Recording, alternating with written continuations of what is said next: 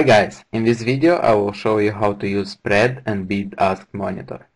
After you have installed it using our automated software or copying the files manually, all you need to do is just two simple steps or even one. You can apply a white background chart template or you can apply a black background chart template.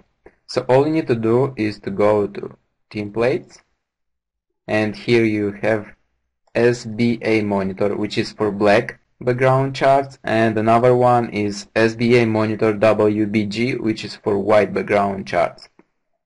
I'll go first with SBA monitor for black chart and as you can see it started right away to work.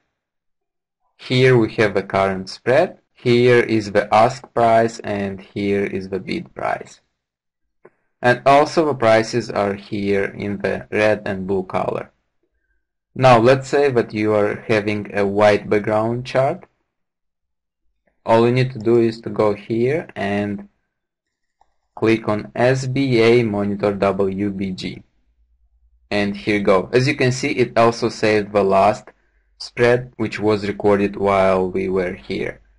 Once again, this is the spread, this is the ask price, and the last one is the bid price. As you can see, it's very easy to use. In case you want to apply them by yourself, it's very easy to do this as well. Let me just open a new chart. Okay, here I have a new chart. Okay, all you need to do is just click on X bid ask monitor, this one from here. Just drag and drop to your chart.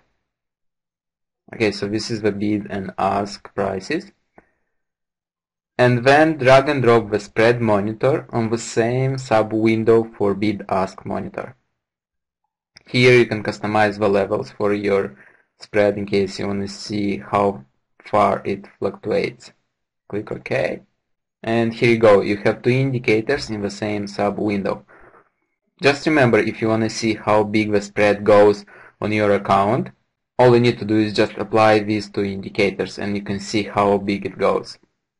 If you want to get these indicators for free, all you need to do is just follow the link below this video.